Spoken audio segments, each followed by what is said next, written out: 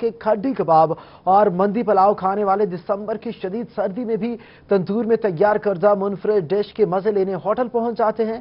کیا جادو ہے؟ اس میں رپورٹ کر رہے ہیں زشان سفتر ڈیرا غازی خان میں بننے والی ایک ایسی ڈش جو کہ یہاں پہ کسی بھی ہوٹل پہ نہیں بنائی جاتی اور یہاں پہ یہ اپنی انفرادی حیثیت رکھتی ہے، ذائقے کے حوالے سے یہاں پہ اس ڈش کو عربک زبان میں لاہ مندی بھی کہا جاتا ہے اور اس کے ساتھ ساتھ مقامی لوگ یہاں پہ اس کو تندوری سجی کے نام سے بھی جانتے ہیں۔ اس ڈش کے کیا کس طرح سے تیار کی جاتی ہے؟ اس میں کیا لوازمات استعمال ہوتے ہیں اور کتنے مراحل میں اس ڈش کو کمپلیٹ کیا جاتا ہے؟ اس حوالے سے جانتے ہیں اس رپورٹ میں۔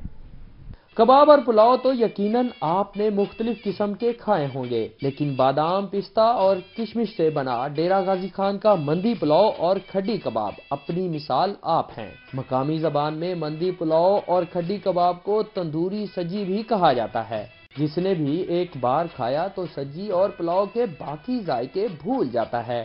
کیونکہ مندی پلاؤ اور سجی بنانے کا طریقہ دیگر پلاؤ اور سجی سے یکسر مختلف ہے۔ مٹن کے بڑے ٹکڑوں کو خاص مسالہ جات لگا کر دو گھنٹے جذب ہونے کے لیے چھوڑ دیا جاتا ہے، جبکہ چاولوں کو مسالہ جات، کشمش، بادام اور زعفران کے ساتھ پانی ڈال کر دہتے ہوئے کولوں کے ساتھ تندور میں رکھ دیا جاتا ہے۔ جہاں گوشت کے ٹکڑے بھی تندور میں دم کیے جاتے ہیں۔ تقریباً چھ گھنٹے کی محنت سے بنایا جانے والا مندی پلاؤ اور تندوری سجی کا ذائقہ اتنی مشقت کے بعد منفرد ہی ہوگا نا؟ تیاری کے اوپر تقریباً پانچ سے چھ گھنٹے لگتے ہیں۔ پہلے ہم گوشت کو صفائی وغیرہ کر کے کٹ وغیرہ لگاتے ہیں اور اسپیشل زعفران کے ساتھ ہم اس کو مثالیں لگاتے ہیں۔ اور تقریباً جب اس کی لکڑی کے اوپر ہمیں ٹائم لگتا ہے دو گھنٹے جب یہ لکڑی تیار ہو جاتی ہے، پھر ہم اس کو چاولوں کو دھو کے پھر اس کے اندر بھی ہم زعفران ڈالتے ہیں، کاجو، پستہ، بادام، کشمش لوازمات جو ہیں ہمارے اسپیشل مسالہ جات ہیں، وہ اس کے اندر ڈال کے تو تندور کے اندر ہم وہ چاول نیچے رکھ دیتے ہیں بغیر ایل کے اور اس کے بعد جو ہے نا ہم گوشت کو ہم اس کے اوپر سیخوں کے اندر کھڑی کر دیتے ہیں۔ جب بھاپ چھوڑتی تندوری سجی اور مندی پلاؤ کی خوشبو کھانے والے کو محسوس ہوتی ہے تو منہ سے رالیں ٹپکنا شروع ہو جاتی ہیں۔ زبان ایک ایسے منفرد ذائقے سے روشناس ہوتی ہے کہ اسے کھانے والا بیان ہی نہیں کر پاتا۔ سادے دوست کرتے تھے۔ پیچھے سجی اتنا تیار تھی ایون ہوٹل تھے بہت بہترین مزیدار۔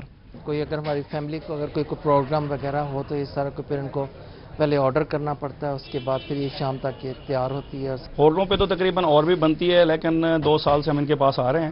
اور اے ون کینٹین والے کا ماشاءاللہ نام بھی ہے اور ان کا ٹیسٹ بھی بہت اچھا ہے۔ ہم راجن پور سے آئے ہیں۔